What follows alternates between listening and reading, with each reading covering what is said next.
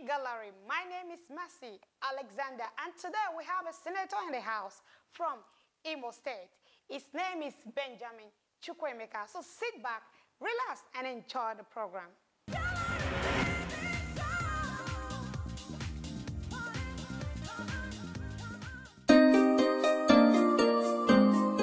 Our guest for this week is Senator Ben Uwajimogu.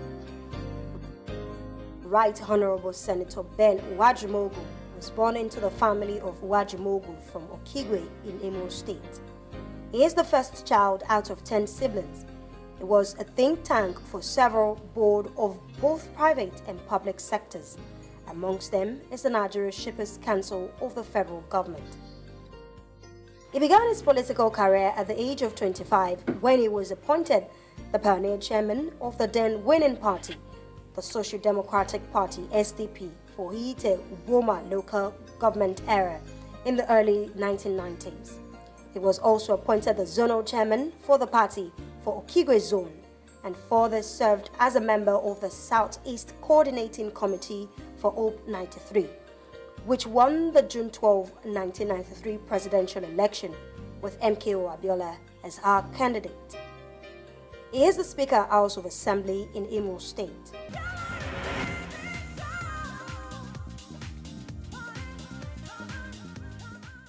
My name is uh, Senator Ben Uwajimogu.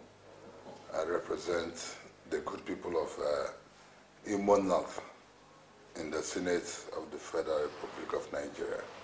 I grew up in the southeast just before the Nigerian Civil War. Grew up in Umuahia, which uh, is the capital, current capital of Abia State. Yeah.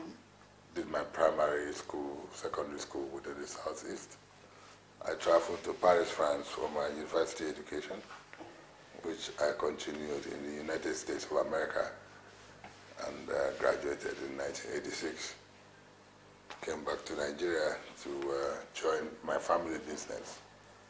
Eventually, I found uh, myself in politics in 1990 when I became the party chairman of the Social Democratic Party in 1990, uh, the defunct Social Democratic Party. In 1992, I became the state vice chairman in Imo State, then the old Imo State. That was before the creation of Abia State. Uh, eventually, uh, after the Babangida transition was truncated, all these uh, political parties were uh, banned and uh, we now moved on to the Abacha transition, which I did not participate in.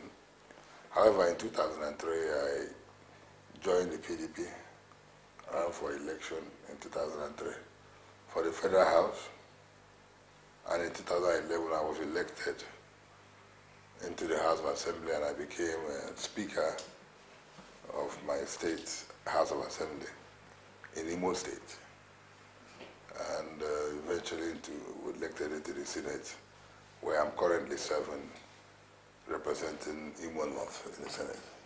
Yeah, you've almost answered all the questions that I needed to ask you, sir. But anyway, what gave you that boldness uh, to, you know, go into politics at a, a, young age, knowing fully whether in Nigeria, some people say uh, politics is a, a, very deadly game to play. Well, I've always, I've always, my, my, I come from a family that uh, had embraced politics from day one. My father was a politician as well as a businessman. He was uh, one of the uh, major pillars of the Nigerian People's Party, the NPP, you know, that supported Nnamdi Azikiwe and of course that produced the great Sam Mbakwe of Imo State. Um, he worked with him and he was chairman of, uh, uh, vice chairman of the party in the state at the time. And of course, uh, a major financier of uh, NPP. Well, I, I would say that one of the most, uh, one thing that, that was quite outstanding was in 1979, during the presidential campaign for which Nnamdi Azikiwe, the late Zik of Africa, mm. when he was running for the presidency, came to Imo State on um, campaign, and I had to spend the night in my family house. And then I think I was uh, I was 14 years old. At that time. Uh, that's when I met him. I, you know, we had a, at the family meeting, Meeting. when everybody met Zik and all that. We discussed, and um, I did. He he kind of encouraged me into politics, and uh, you know, I, I, I tried to find out from him because we had. Zik was a legend. You know, there was almost story about Zik then. He was reputed to have uh, the keys to the River Niger at the time, and all he needed was to open the River Niger, and everywhere would be flooded. You know, there they say there was a witch that she that he encountered, and he put the witch inside a bottle and bottled it. So I asked him all these questions. You know, as a young boy, I wanted to know the truth about this. At the end of the day, he gave me a copy of his uh, uh, autobiography, My Odyssey. He encouraged me to also read autobiography of other world leaders, and he did tell me that um, I should strive and be a leader, and do not be shy to get involved in politics. So I guess Zik inspired me, you know, to be uh, Not your dad. meeting him. No, my dad was my dad was one of those who supports politicians. He wasn't really uh, a frontline politician. You know, he was a financier and all that. But um, I, I, I have run severally. I've, I've won. I've lost many more times than I have uh, won elections. You know, so I guess uh, it's something that I'm committed to. Yes. No, sir. In few years, you were the, uh, the Speaker, House of Assembly in your state, you know, and you were able to do what a lot of people could not do. What, what is that thing that inspired you to achieve all that? Well, uh, well, thank you for saying that. I first time somebody is uh, giving me that kind of compliment, because uh, you know it's very difficult to be complimented when you're in office. However, I would say we try to do our best, and um, the, the truth is this: um, I, I, I went into politics not because I didn't have a job. At the time I went into politics, I had businesses. I, I built my first factory when I was 25 years old. It was a polyurethane foam factory. I built uh, a food a food comp- a food company. And you know, before I was 25, I, I owned a food company. Wow. I also built my hotel in uh, Abia State, which is an 86-room hotel, which opened in 1997. So these are some of the things. I, I wasn't looking for business. I wasn't looking for work. You just You know, it's something that I believe in. It's, it's a passion that I have to serve. I've always wanted to contribute my little quota to uh, the development of uh, people. And from the time I came back to Nigeria, I lived, you know, completely uh, on my time in, in, in the southeast between Owerri and Umuahia. So I've lived among my people. I know what they need. I know what. There's no part of Imo State today that I do not know. There's no part of my zone that I do not know. I believe that people who have such understanding, and uh, you have, I had uh, uh, uh, a liberal arts education in America, which is quite robust, you know, giving you insight into almost every aspect of life. So for me, it's an opportunity to impact on the, my immediate environment. So when I became a speaker, I, I was already part of the society. So I didn't need to be told what was needed. I didn't need to be told what was important because whether we like it or not, in this country today, we're still trying to provide the basic necessities of life for our people. And we have not been able to achieve that. We don't need a PhD to know that all we need to provide in this country are those basic necessities, food, shelter, and then uh, health, and of course, uh, uh, guarantee of, uh, uh, of security. You know, so uh, those are the things that have actually, you know, I've, I've actually thrived and worked towards achieving all the time that I've been in, off, in office. Yes. Now, so in 2016, you were declared the winner of Imo North um, uh, Senatorial. What have you been doing for your people since then? Well, it took quite some time to come to the Senate. It was a struggle to get in here. And um, uh, by the time I came in, the budget of 2016 was already far gone. The Oh, wow. 2017 budget was already in progress, and um, the, the president submitted the, the, the, the budget here in October, few, just less than a month after, about, about a month after I had assumed office, you know. So, however, um, I have also, within the last uh, less than one year that I've been here, been able to, um, you know, focus, you know, on youth empowerment through agriculture. Um, we've uh, identified that in my Nigeria district, which is made up of about six local governments, that we have over 12,000 hectares of land, arable land, which has not been under cultivation because, uh, you know, we come from the rainforest, and most of these areas are overgrown with large trees, which requires a lot of money to be able to uh, pull them down and, um, you know, and then unfortunately, our, our farmers have not been assisted by government, you know, to uh, exercise this uh, uh, cultivation. Uh, Because you see, what we, what we usually see in the southeast is instead of seeing people who are farming large expanse of land, maybe a farmer who is only able to eke out one plot of land or two plots of land will just be farming there because they don't have the capacity to bring down these trees. In fact, some of this land I'm talking about today have never been cultivated maybe since creation of Adam. You know, so what we're doing currently is that uh, I mobilize resources, personal resources, to start, you know, uh, clearing this land to make them available to our farmers on a contract farming program, you know, to uh, begin to cultivate uh, in agriculture. So we are hoping that by the time we uh, clear most of it, we, in the first phase, we are targeting 2,400 hectares Okay. and uh, we want to get our youth and our women to, you know, be involved in agriculture. We provided equipment for clearing. We, we are providing tractors. We are providing um, extension officers who would help them, and indeed we're also going to train them in certain applications. We are also uh, uh, going to set up uh, processing processing facilities like uh, uh, cassava processing factory. We're going to build oil mills. We're going to build uh, rice mills. That is already in progress. And uh, we're hoping that some of these, you know, processing factories can of take the products that are going to come from not only these farms that we are developing, but other ones that people are, you know, also developing.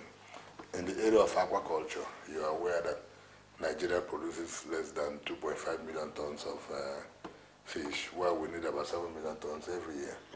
So uh, there's a gap of about 5 million tons that requires, you know, to be uh, uh, supplied. And we are now in the process of uh, training and mobilizing about 200 youths. And we're going to build uh, fish ponds for these 200 youths. That's You know, we, uh, um, not only that, we're going to build, we, the cost of building and uh, uh, equipping it, including fish and feed, for the duration of their production lifespan, will be supplied to these young, young, young people. Young. And at the end of production, we shall offtake, that is to buy up whatever products that they have uh, produced in order to uh, make funds available to them. We'll buy it at the uh, ongoing market uh, rate. We want to see how we can, you know, uh, do, in a cycle in a year, do two cycles, you know, produce like 200 this cycle, 200 next cycle. We believe that if we are able to achieve, even if it's 500 or 400 uh, fish farmers in the next two years that have become quite proficient in uh, fish farming and maybe are able to uh, eke out a living, you know, meaningful living, producing in agriculture in our rural area, that people, younger ones, can see, you know, can be mentored by, you know, they can find out that you don't need to go and live in a city in order to eke out a living. So we want to show an alternative to our people that you can also make money from agriculture, that even the young people, because if we engage them, then we can put them away from, you know, Crime. crime, you know, kidnapping, Being drugs, and all that. is affecting our youth today in the society.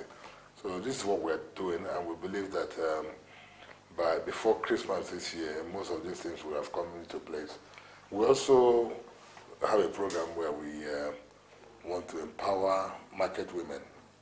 We have 64 wards, and we want to reach out to about 50 market women in each ward and want to give them like 25,000 naira each. We're looking at those who sell tomatoes, who sell, yes, uh, groundnuts, you know, who fry akara.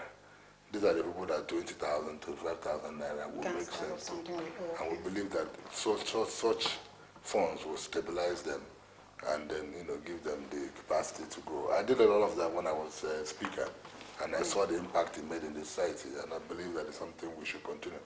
We're also um, registering um, a microfinance uh, uh, uh, institute that will help reach out to a lot of uh, cooperative societies within my zone, you know, to help, you know, source funds for startups.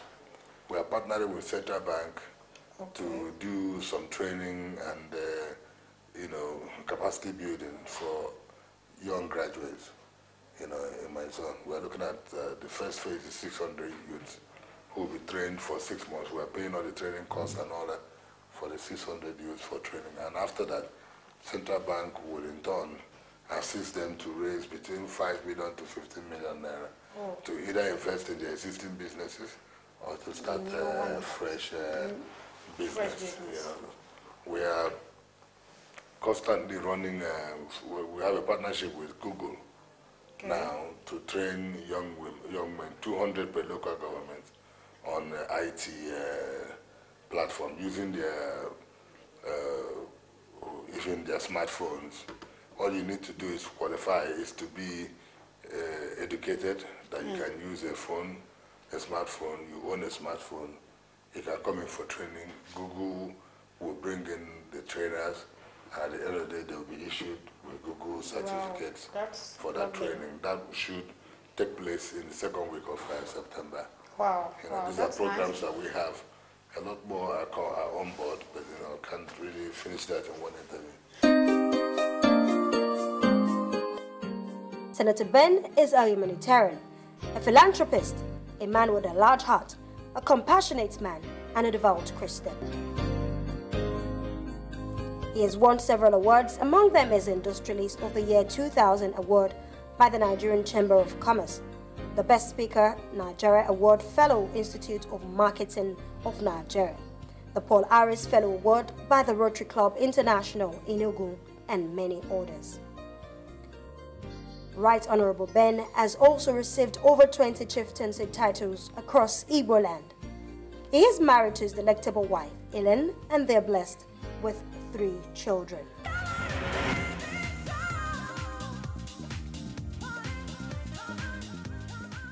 Now, sir, let's forget about politics. Let's talk about how you relax when you're tired and uh, you want to relax. How do you relax? Well, I relax. You, I, I, yes, I do once in a while. I, um, I, I, I, I read a good book. I like magazines. I, of course, I get to sleep. That's, a, that's, That's part of relaxing. However, I, I'm still one of those that believe that um, you never get too old to once in a while, you know, go to a lounge or go to a club and Yeah, okay, let and your shake head your body down and uh, all of that. You know, I like staying out with friends and then, you know, hanging out and talking about politics and uh, social issues. So I, I travel. You know, I like uh, when I'm when I'm outside Nigeria, you won't find me in malls shopping. You probably will find me in museums and uh, in the places of interest where I go to catch up on, on those things. Yes. Before we leave, I want you to say one of your words to the youth out there and also those who have the same uh, profile with you and they probably refuse to do one or two things now. With the little you have, God has blessed you, you're able to give back to the society. I want you to advise some of our leaders out there through this forum and also ad- advise the youth who think success just come up by when you wake up and, oh wow, that's money.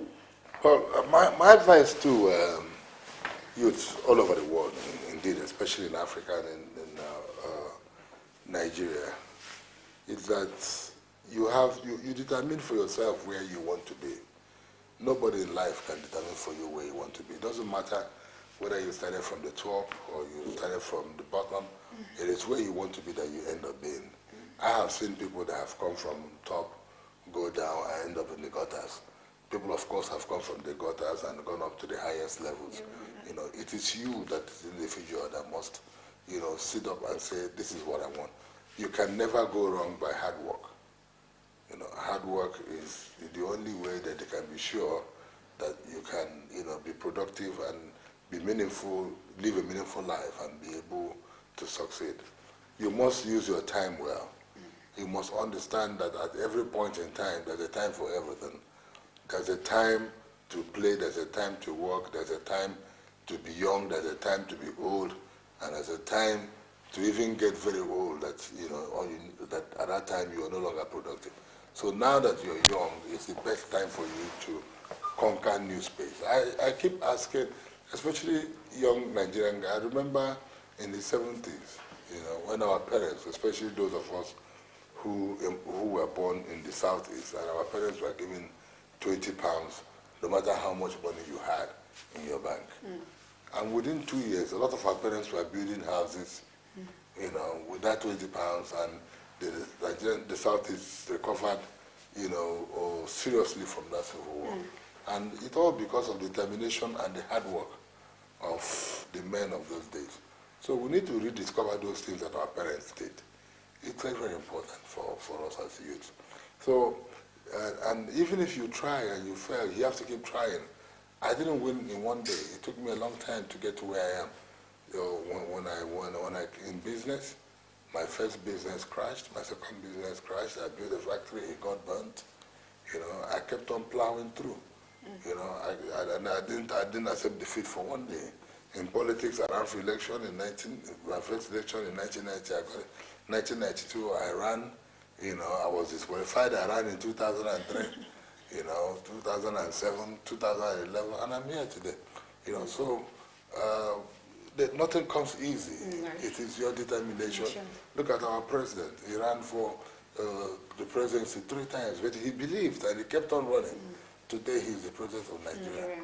So I, I, believe that uh, our youth should learn to persevere and to be determined and to work hard. Mm. I believe if once they're able to imbibe that, they will be successful. Well, my advice to our leaders is that um, God has placed us all in a position to be who we are because of a reason. Mm. And when we are given a position and we are unable to uh, uh, uh, carry out the responsibilities that God has given us, then you know, we fail God. You mm. understand? We, mm. we, we, that means that what we have been given, we have not shown, you know, uh, we, we, we, are, we are incapable positions that God has given us. And, you know, it, it's so unfortunate that our leaders are the same people that end up, you know, uh, uh, in this country especially, in mm -hmm. Nigeria, you, you find that it is our leadership that ends up breaking all the rules and all the laws that we make by ourselves. Yeah. You know, we end up ridiculing the very offices that we occupy. And we are not able to mentor the youth because what we do in our private lives and official lives, you know, gives the wrong image to the younger ones who believe that that is the way to go. So my advice is that people should learn to mentor others. Let us learn that you cannot be a permanent secretary, you cannot be a governor, you cannot be a minister, you cannot be a senator and be the richest man in your society. You know, by stealing so much money and buying houses and buying so many cars, cars. and all the, those who their parents acquired so much money in the 60s and the 70s, 80s and 90s, today others are buying those properties from their children, you know, and it doesn't, it doesn't get them anywhere. Your children will be who they are by their own dint of hard work and, not, and the name you leave behind and not by how much money that you have left behind. So we should strive to leave a legacy and a goodwill. Mm. I think that is what I benefited from the goodwill that my father left. Mm. I can say that 60% of what I am today is because of the name that my father left behind and not by what I have uh, tried to achieve by myself. I believe also that my children will leverage on the name that I leave behind. And that is what the legacy is all about.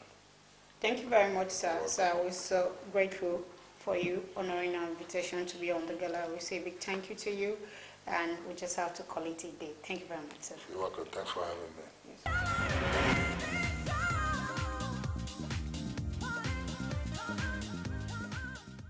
Thank you, my beloved, for being part of today's program.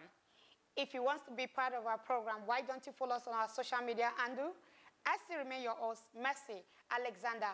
Bye and have a wonderful week. Thank